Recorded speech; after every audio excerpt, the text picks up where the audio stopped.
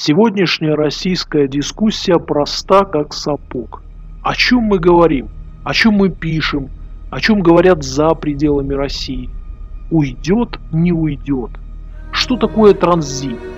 Это переход Владимира Путина к новой роли или к новому Путину? А кто станет новым Путиным? А если Путин останется, то как? Через Госсовет, союзное государство с Белоруссией или другой трюк? Гадание на этой ромашке стало российским национальным хобби. Впрочем, и мир гадает. Если не уйдет, то что?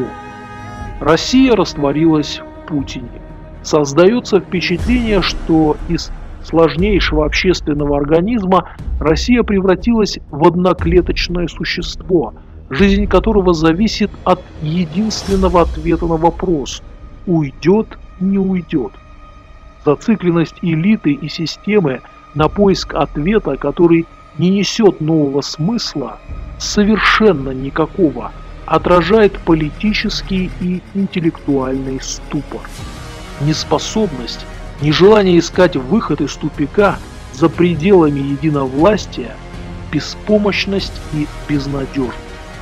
Гадание уйдет, не уйдет унизительно не только для нации, но и для лидера, который уже лишен шанса удивить и не имеет драйва для новой миссии.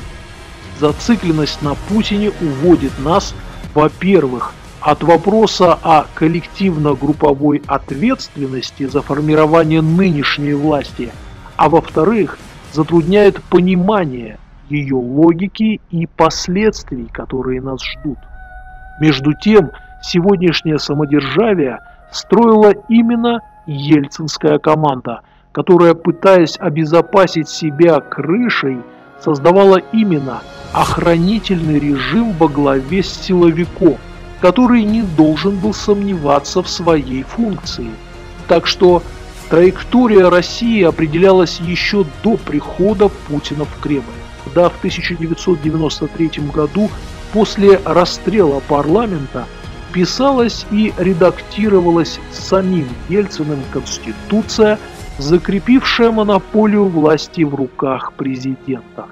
Кто бы ни пришел в Кремль вместо Путина, он уже имел в руках инструмент узурпации власти. Вот Путин уйдет, а с ним уйдет и его ближайший круг. Это неизбежно – их коллективный уход станет легитимизацией новой власти, которая будет черпать народную поддержку в неизвержении старых властителей. И что мы увидим, когда завершится третий акт этой пьесы? Тотально деморализованную и беспомощную элиту, которую умеет только обслуживать вертикаль и не умеет ничего другого окажется, что решение проблемы Путина не самая трудная вещь. Что делать с двумя миллионами двухстами тысячами госслужащих, которые привыкли функционировать в коррупционной среде? Что делать с пятью миллионами силовиков, заточенных на репрессии? Что делать с экспертами, запрограммированными на обслуживание власти? Что делать с интеллектуалами, паразитирующими на кремлевских советах и палатках. Что делать с мастерами культуры, в кавычках, выпрашивающих у власти, как Андрон Кончаловский, ориентир? Куда их всех девать? Где взять тех, кто эту накипь может заменить? А можно ли верить тем, кто сегодня пытается отмежеваться от своего соучастия и ответственности, надеясь на роль в новом сценарии. Ведь и у них есть только опыт обслуживания вертикали. А мы все про Путина. Лилия Шевцова. Я считаю, это очень интересная статья, которую просто разбирать и разбирать очень долго. Но самая главная мысль, которая мне понравилась, и именно та мысль, которую я передаю своими простыми словами – заключается в том, что действительно рано или поздно уйдет Путин, но не уйдет вся страна. Не уйдут те, кто сейчас сидят на местах губернаторов, и даже если их заменят замами губернаторов, все равно придут все те же самые, в что привыкли работать по тем же лекалам.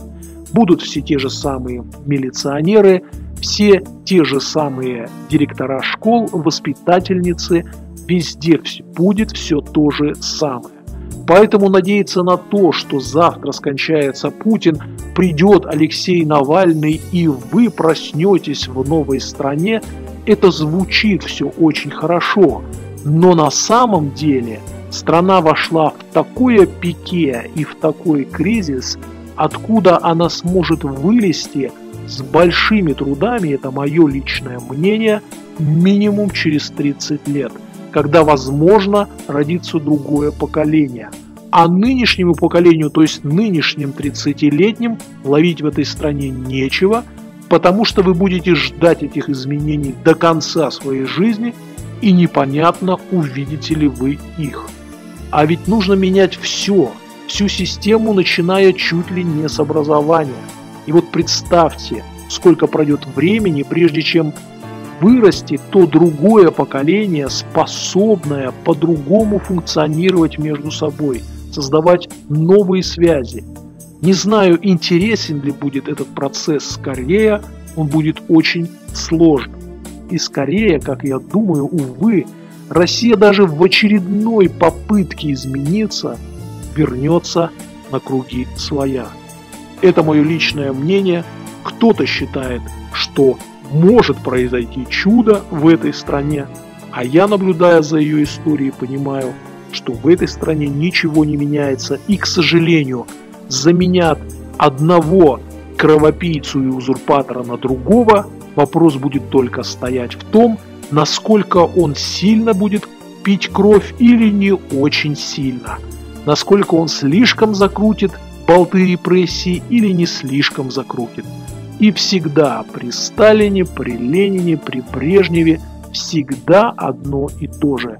Политические заключенные, проблемы с деньгами, проблемы с медициной, с образованием, никакого движения в техническом прогрессе, отсталая культура и далее по списку. Многие ждут конца Путина, но я тоже присоединяюсь к Лилии Шевцовой в данном случае – что только с кончиной Путина, к сожалению, ничего не закончится.